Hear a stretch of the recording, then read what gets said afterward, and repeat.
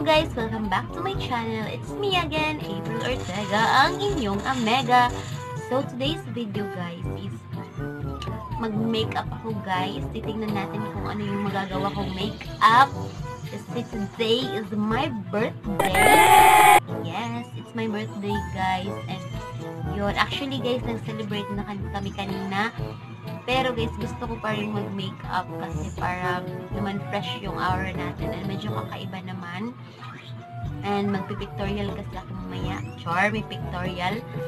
Hindi magpipicture lang ako guys dun sa may cake and yung may name ko na nakalagay dun. So, let's get started. Pasensya na kayo guys ako medyo maingay kasi yung baby ko guys sa likod eh nag-aano siya guys, nanonood siya ng video. So, ngayon guys, is lilinisan ko na muna yung aking face. Kasi guys, medyo nang lalagkit na din ako. So, wipes lang tayo.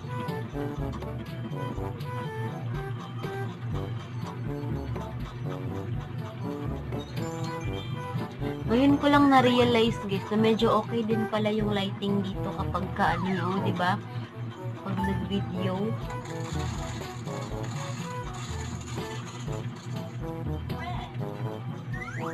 Tingnan nyo guys, ang dumi.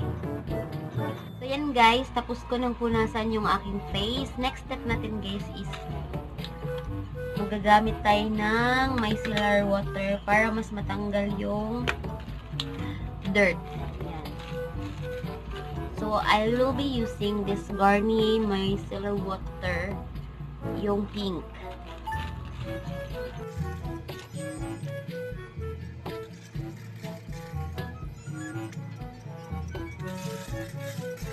So, next step guys is maglalagay na tayo ng moisturizer and yung gagamitin ko is yung brilliant na moisturizer. Actually guys, sunscreen siya and pwede naman siyang pang moisturizer. So, ito na lang yung gagamitin ko.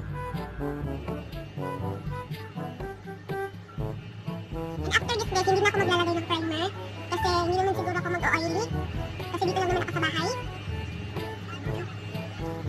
So, next guys is hindi na ako maglalagay ng any foundation or BB cream.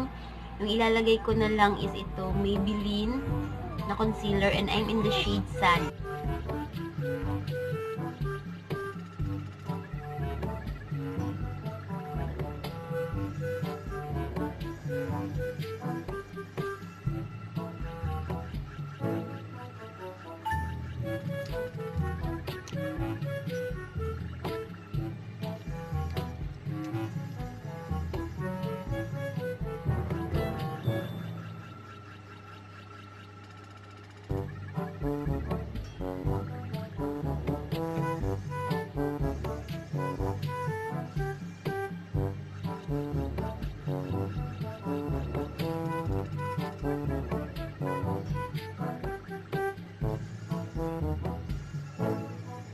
Guys is nagsiset muna tayo ng powder and yung gagamitin ko is yung Nichido Final Powder in the shade Creamy Glow.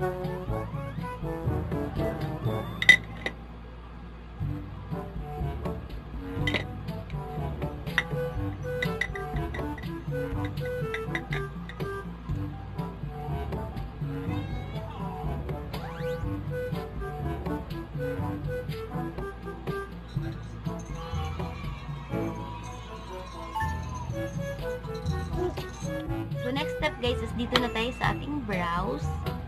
Yan. So, yung gagamitin ko is yung naked ko na fake. It's from Shopee guys or Divisoria. And nagustuhan ko siya guys kasi maganda yung consistency ng product na to. Actually guys, nakatry na ako ng Naked 3. Pero mas nagustuhan ko talaga yung shade ng Naked 2 at saka yung consistency niya.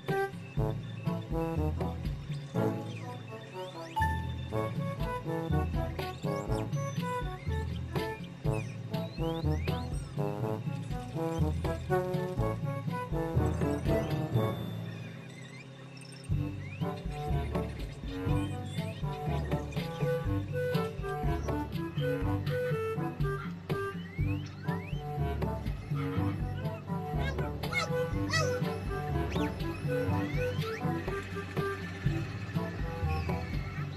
Guys is magkukontour na tayo and yung gagamitin ko is yung from Ever Belena na contour.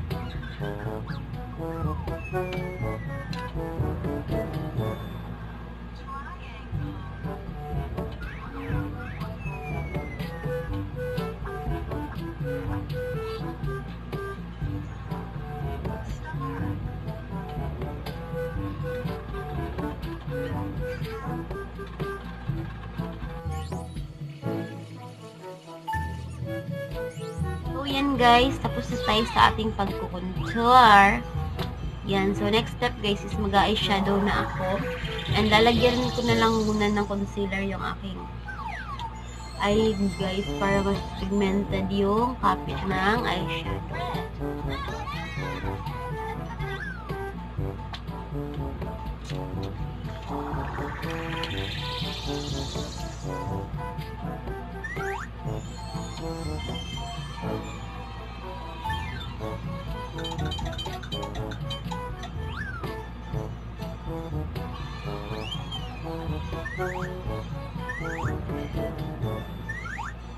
Yan.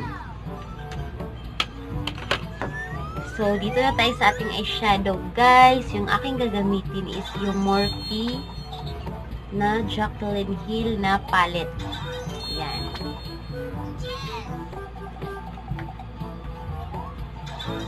So, for my base, I will be using this shade Yan guys. Tapos na ako maglagay nitong color na to sa aking base. Next naman is ito guys. So, ewan ko guys kung anong kalalabasan ko kasi hindi naman ako pro. And yung bet ko na look ngayon guys is medyo rose gold. So, try natin kung kaya ba natin. Laban lang.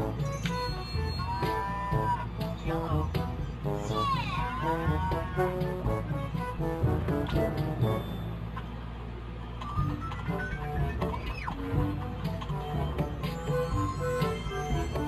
next guys, I will be using this shade guys.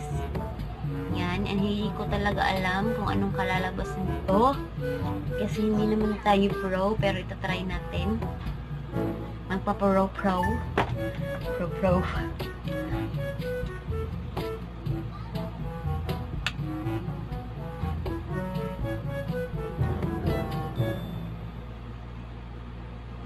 Naman medyo magkakulay.